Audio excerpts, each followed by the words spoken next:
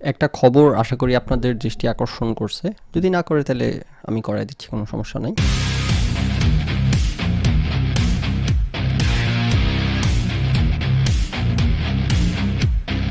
আমি খবরটি একটু পড়ি, একটু ব্যাকগ্রাউন্ড দিই আপনাদেরকে। সিনেমার সংলাপ নিয়ে আপত্তি নেটফ্লিক্সকে বিজিএমই এর চিঠি। ওকে সো একটা সিনেমার মধ্যে কোনো একটা সংলাপ আছে আপত্তিকর, সেটা নিয়ে চিঠি লিখছে ওকে কী খবরটা পড়ে দেখি? আন্তর্জাতিক ভিডিও স্ট্রিমিং প্ল্যাটফর্ম নেটফ্লিক্সে মুক্তি পাওয়া একটি ফরাসি সিনেমায়। ফরাসি সিনেমা? বাঙালিরা কি ফরাসি ভাষা জানে? তাহলে এরা কেমনে বের করল যে ফরাসি সিনেমায় কি বলা হয়েছে বাংলাদেশকে নিয়ে?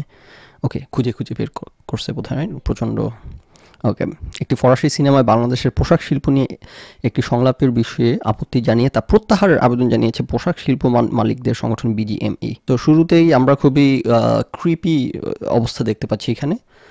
নেটফ্লিক্সে ফ্রেঞ্চ ভাষার একটা ছবিতে সিনেমায় বাংলাদেশের পোশাক শিল্প নিয়ে আপত্তিকর ডায়ালগ এই প্রত্যেকটা ওয়ার্ড এই ওয়ার্ডগুলোর সাথে আমরা কেন পরিচিত জানেন? বাংলাদেশে এগুলো নিয়ে নাচানাচি লাফালাফি করা হয়। আপত্তিকর। মানহানিকর। কে কোথায় কি বলছে, নাটক কি দেখাইছে সিনেমায় কি দেখাইছে, এগুলো নিয়ে একটা রাষ্ট্র জাতীয়ভাবে উন্মাতাল আচরণ করে, যে কারণে এটা আমাদের জন্য কোনো সারপ্রাইজিং খবর না রাইট ওকে সো সেখানে ঘটনাটা কি হয়েছে? ডেভিড শারন পরিচালিত দ্য লাস্ট মার্সেনালি সিনেমাটি নেটফ্লিক্সে মুক্তি পায় গত ত্রিশ জুলাই। সিনেমার একটি সংলাপের ইংরেজি সাবটাইটেল ছিল এরকম। ইংরেজি সাবটাইটেল মানে হচ্ছে ফ্রেঞ্চ ভাষার মুভি তো এই জন্য ইংলিশ সাবটাইটেল লেখা ছিল। ওই যে ওইখান থেকে ইংলিশ দেখে বাঙালি খুঁজে বের করছে যে, ওই চিপার মধ্যে আমাদেরকে অপমান করা হচ্ছে। Yes bullet proof tuxedo made in France I would be dad if it were Bangladesh basically যেই নায়ক বা কিছু হবে, তার পরনে একটা টাক্সেডো পরনে ছিল বুলেট প্রুফ যেটা মেড ইন ফ্রান্স তারপর সে বলছে আর কি যে হ্যাঁ এটা যদি বাংলাদেশে বানাইতো, তাহলে আমি এতক্ষণে মারা পড়তাম। সো এই হয়েছে এই ডায়লগের কারণে বিজিএমই সভাপতি চিঠি পাঠাইছে। সেই চিঠি তিনি লিখছে, এই ধরনের মন্তব্য বাংলাদেশের চল্লিশ লাখ পোশাক শ্রমিকের ত্যাগ, কঠোর ওরে বাবারে, গরম হয়ে গেছে বাঙালি। ত্যাগ, কঠোর পরিশ্রমের প্রতি অবমাননা, ওই আগে বললাম, এই ওয়ার্ডগুলো আমরা বাংলাদেশে প্রতিনিয়ত শুনি, প্রচণ্ড মান সম্মান বাঙালির গর্ব, চেতনা হ্যাঁ। অবমাননা সামিল, বাংলাদেশের তৈরি পোশাক যুক্তরাষ্ট্র, বিশ্বের এই ধরনের অবমাননাকর মন্তব্য অবমাননাকর মন্তব্য। হায় রে খোদা রে বাঙালি। শুধু বাংলাদেশি পোশাক কারখানাগুলোর জন্যই অবমাননাকর নয়, কতবার অবমাননা ওয়ারাইজ করবি, বরং আন্তর্জাতিক উন্নয়ন সহযোগীদের দীর্ঘদিনের প্রচেষ্টার প্রতি এক ধরনের অবজ্ঞা, একটা সিনেমার ডায়ালগ এতে করে একটা দেশের পোশাক শিল্পের প্রতি অবজ্ঞা প্রকাশ।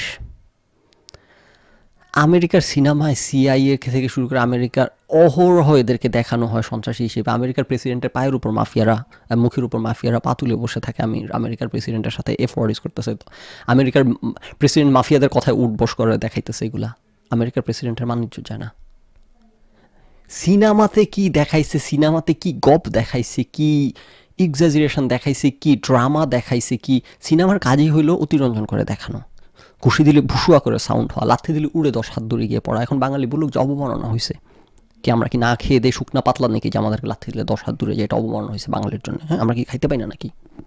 সিনেমায় কি দেখে না দেখে এগুলো নিয়ে নাকি অবজ্ঞা, অবমাননা এটা যেন আবার চিঠি লিখে তাও আবার আরেক দেশে, বাংলাদেশের সিনেমা না, আরেক দেশ, বাংলাদেশের হইলে যে এটা লেখা যায় সেটা বলতেছি না, বলতেছি যে কোন লেভেলের ফাত্রামি ইংলিশও না, খুঁজা খুঁজা বের করে, খুঁজে খুঁজে বের করে বাঙালি। অপমানিত বোধ করতেছে ওকে ইয়েও তো একবার সোলার ওখানে আলোচনা করছিল, ইয়ের পর ওই যে কি মুভিটা যে বাংলাদেশে এসে শ্যুট হয়েছিল এক্সট্র্যাকশন মনে হয়েছিল মুভিটার নাম, ওইটা নিয়েও নাকি বাংলাদেশের অপমান হয়েছে, অবমাননা হয়েছে, এটা নিয়ে সোলাইমান সুখন ব্যাপক দুঃখিত। মানে এইগুলো তো বা পাবলিক যে এরকম রিয়েক্ট করে কেন? এগুলো দেখে দেখে শেখে যে আমাদের সুখন ভাইয়ের এগুলো শেখায় যে, যদি সুখন রাজকে এগুলো বলতো যে, আরে মুভিতে কি দেখেছে না দেখেছে এগুলো নিয়ে একটা জাতি হিসেবে এরকম উন্মাতাল্লার মতো করার কি আছে? ইয়ে আমরা পুরো করতে শেখেন ফান ফান অ্যাকসেপ্ট করতে শেখেন বা একটা মুভি মুভি মুভিকে মুভি হিসেবে নিতে শিখেন। মুভিতে তো কত কি দেখানো হয়, এগুলো কি ওটা সত্য নাকি? এই কথাগুলো যদি আমরা জাতি হিসেবে বলতাম তাহলে কিন্তু মানুষের ও মানুষ সকলেই, ও আচ্ছা এটা নাচা না, আমরা জাতি হিসেবে কি শিক্ষা দিই? নাচতে হবে, লাফাইতে হবে লাফাইতে হবে, খালি অপমাননা অপমান, অপমানে। তো এই কারণে এটা যে কারণে জাতিগতভাবে উন্মাতালের মতো আচরণ করে, ওই যে কোথায় কে কী কী রিয়েলিটি শোর মধ্যে কোন বিদেশি মেয়ে কি করছে, এটা নিয়ে সারা জাতি উন্মাদের মতো নাচতে হবে। তো এগুলো আমাদের একটা জাতিগত প্র্যাকটিস যে কারণে আমরা এরকম উন্মাদের মতো করি মানে নন ইস্যু নিয়ে নন কি অবস্থা, আল্লাহ একবার আচ্ছা যাক।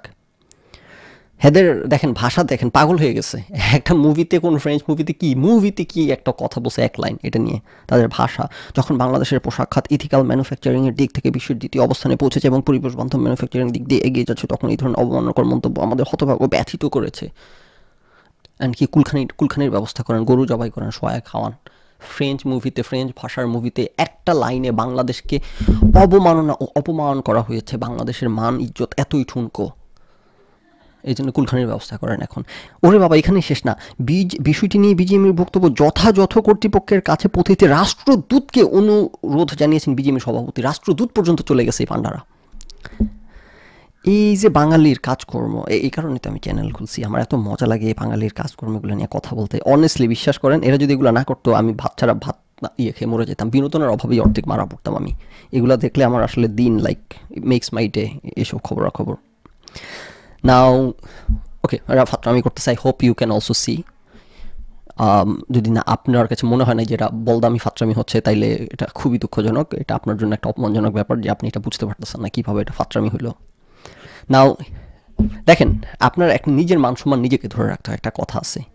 এই যে বলদ বাঙালি এই রিকোয়েস্টটা রাখল, নানানভাবে লাফালাফি উন্মাদের মতো করতেছে, ওই রাষ্ট্রদূতকে ধরে, চিঠি লিখে, কি করে বিবৃতি দেয়, কি পাগলামি সাগলামি করে বেড়াইতেছে একটা French movie dialogue okay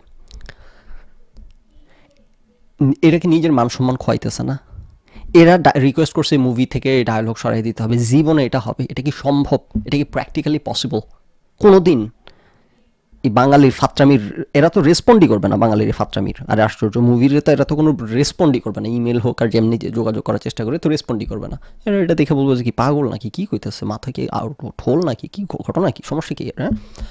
so এটা আমরা সকলে জানি এটা কোনো রেসপন্স আসবে না। তো যে এটা রেসপন্স আসবে না, আপনার যে রিকোয়েস্টটা রাখা হবে না, বা রেসপন্স আসুক, যে রিকোয়েস্টটা রাখা হবে না, সেই রিকোয়েস্টটা আপনি কেন করবেন? সেটা আপনার আপনার নিজের জন্য অপমানজনক আপনি নিজেকে ডেকে অপমান করা না, নিজের পায়ে নিজে কুড়াল মারা মারা না মারা না। কেন আপনি রিকোয়েস্টটা করবেন যে রিকোয়েস্ট আপনি জানেন রাখবে না? তাইলে এই রিকোয়েস্টটা করা মানে তো নিজেকে ছোট করা, নিজেকে অপমান করা। ও ওকে বাঙালির আবার ছোট করা, বাঙালির আবার মান অপমান, এদের তো অপমানই নেই। ওদের এদের যদি মান থাকতো তাহলে তাইলে তো তার এই মান সম্মান নিয়ে লাফালাফি উন্মাদের মতো করতো in the first place right so okay fine so এদের যেহেতু মান সম্মান নাই, সেহেতু আমার একটা রিকোয়েস্ট করছে, যে রিকোয়েস্টটা কোনো দিনও রাখা হবে না। বেসিক্যালি গালে একটা চপ চপেটা ঘাত মানে ডেকে একটা থাপ্পড় নিল গালে আর কি ওকে নাও যেটা দেখানো হয়েছে মুভিতে এটা কেন দেখানো হলো? মুভি তো দেখানো হয়েছে কোনো একটা মানে মানে এই ডায়লগটার তো ভীষণ একটা ব্যাকগ্রাউন্ড থাকতে হবে। কোথেকে আসলো? শূন্য থেকে তো আসে না, তারা তারা কেন মনে করল যে বাংলাদেশের ট্যাক্সেডো হইলে এটা বুলেট প্রুফ হতো না? এটার ব্যাপারে আমি যেটা মনে করি যে যে মুভি বানাইছে, সে কি গার্মেন্টস শিল্প অ্যাপারেল বিজনেস সম্পর্কে খবর রাখে? দরকার আছে। বাংলাদেশের যদি গার্মেন্টসে ভালো না হইতো, আপনিও তো জানতেন না যে বাংলাদেশের গার্মেন্টসে কী হচ্ছে না হচ্ছে। বাংলাদেশের খো খো টিমের কারা খেলে? বলতে পারবেন আপনি? বলতে পারবেন? বলতে পারবেন রাইট সো বাংলাদেশ গার্মেন্টসে ভালো বিধায় আমরা খোঁজ খবর রাখি জানি যে ওকে বাংলাদেশ। ফ্রান্সের যারা গার্মেন্টস নিয়ে কাজ করে এরা হয়তো জানে যে বাংলাদেশ ভালো ইম্পোর্ট এক্সপোর্ট করে গার্মেন্টস অ্যাপারেল এছাড়া তো কেউ জানার কথা না রাইট এই বাংলাদেশের নামও দেখেন ভাই, এই কথাটা আপনাদেরকে বারবার বলি, কারণ আপনাদের রিয়েলিটি ম্যাচটা আপ আপনারা বুঝেন না দুনিয়া কী অবস্থা। বাংলাদেশের নামই বেশিরভাগ মানুষ শোনে নাই রাইট সো তারা বেশিরভাগ পৃথিবীর আর কি। সো তারা জানেও না যে বাংলাদেশের অ্যাপারেল বিজনেস যারা এই লাইনে তারা হয়তো জানে, জানার কথাও না right that's perfectly fine now যে মুভি বানাইছে, সে হয়তো বাংলাদেশের নামটা জানে যে বাংলাদেশ একটা থার্ড ওয়ার্ল্ড কান্ট্রি একটা বাতিল দেশ। সো যেই কারণে সে তাই ধরে নিছে যে একটা বাতিল দেশের নাম ব্যবহার করি। আমার ধারণা সে ওই সেন্সে ব্যবহার করছে যে, ও বাংলাদেশি প্রোডাক্ট হলে তো এতক্ষণ আমি মরে যেতাম। সে নেসেসারিলি সম্ভবত এটা জানে না যে বাংলাদেশ বাতিল দেশ হলে বাতিলের মধ্যে আবার গার্মেন্টস শিল্পে আমরা মোটামুটি ভালো আছি আগে আছি।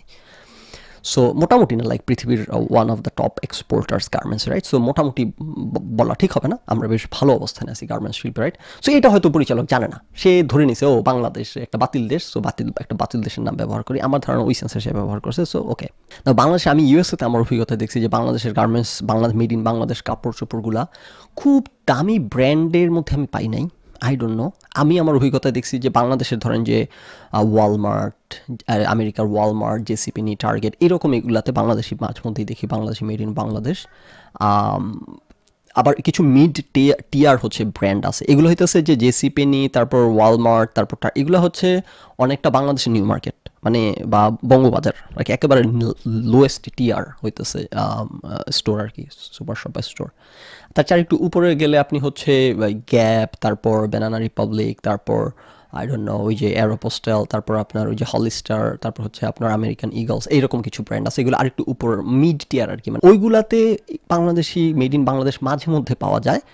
আর একেবারে যেগুলো লাক্সারিয়াস প্রোডাক্ট একেবারে লাক্সারি প্রোডাক্ট ওইগুলোতে আমার অভিজ্ঞতা, আমি তো ওইগুলো ইউজ করি না, আমি যেটুকু অভিজ্ঞতা হয়েছে সেই থেকে পাশে খুব বেশি দেখি নাই মেড ইন বাংলাদেশ। সো আমার এই, আমি একসময় এটা নিয়ে জাস্ট একটু ঘাটাঘাটি করছিলাম আর কি, যে বাংলাদেশ কী ধরনের প্রোডাক্ট এক্সপোর্ট করে, তাইলে আমার তাহলে কি বাংলাদেশ খুব বেশি লাক্সারি প্রোডাক্ট এক্সপোর্ট করে না? একেবারে খুবই আমেরিকাতে যেগুলো বাংলাদেশের নিউ মার্কেট বঙ্গবাজার টাইপের এই টাইপের প্রোডাক্ট ইউজ তো পরে আমি একটু গুগল করে দেখলাম যে হ্যাঁ বাংলাদেশে এক্সপোর্ট সবচেয়ে বেশি বাংলাদেশের হচ্ছে যে ব্র্যান্ডগুলো প্রোডাক্ট কেনে, এরা হচ্ছে জেসিপি নিয়ে ওই যে ওয়ালমার্ট গার্মেন্টস নিয়ে কথা হচ্ছে, এই জন্য এটা বললাম আর কি। আমার অভিজ্ঞতা আমি দেখছি যে এখানকার আমেরিকার একদম লো টিয়ার যেগুলো ব্র্যান্ড এদের প্রোডাক্ট বেশি, অন্যগুলো বানায়, কিন্তু সবচেয়ে বেশি এদেরকে সাপ্লাই দেয় বাংলাদেশ। এটা, তার মানে এটা বলতেছি না যে বাংলাদেশের এই অ্যাবিলিটি নাই, একেবারে বিশ্বমানের টপ ব্র্যান্ডগুলোর প্রোডাক্ট বানানোর।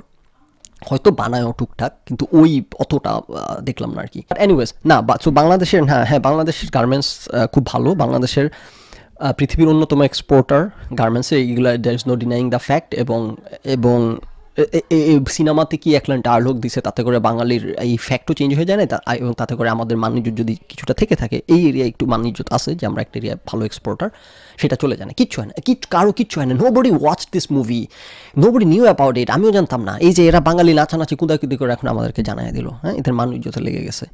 তো যা হোক, এই টিপিক্যাল বাঙালি খাসলত, এটা তো কিছু ইয়ে করার নাই। আমি জানেন আপনারা দেশের বাইরে যখন বাংলাদেশ নিয়ে কথা বলে, আমি অবলীলা স্বীকার করি বাঙালির এসব ফাত্রামি কথা। আমি হ্যাঁ ফাত্রামি করে তো ফাত্রামি করে আমি, আপনি একটা জিনিস মনে রাখবেন, আপনি যখন ফাত্রামিকে ডিফেন্ড ডিফেন্ড করতে যাবেন ডিফেন্ড করার চেষ্টা করবেন, আপনি নিজে ফাত্রা হিসেবে উপস্থাপন করবেন নিজেকে। তো ফাত্রামিকে কখনো ডিপেন্ড করবেন না। আপনি যখন ডিফেন্ড করবেন আর কি, আপনি যখন ফাত্রামি দেখবেন, আমরা ইয়েস এটা ফাত্রামি। এটা কল ইট আউট রাইট তাতে করে আপনি নিজের মানিজ্য এরা তো এদের মানুষ মানিজ্য ডুবাচ্ছে আপনি নিজের মানিজ্য ডুবানোর দরকার নাই। ফাত্রামি দেখলে don't defend it just call it out হ্যাঁ এটা ফাত্রামি, আমি এটা সাথে পাচ্ছে নাই ঠিক আছে, আমার বাঙালি ফাত্রামি করতেছে। আপনি যখনই বলবেন যে এটা ফাত্রামি, তখন সাথে সাথে আপনি নিজেকে এই বাঙালিদের ফাত্রামি থেকে ডিসোসিয়েট করে ফেললেন, বাঙালিদের থেকে পৃথক করে ফেললেন। আর যখনই আপনি ডিফেন্ড করতে নেমে গেলেন, তখন আপনি এদের এই গুটা আপনি নিজের গায়ে মেখে নিলেন।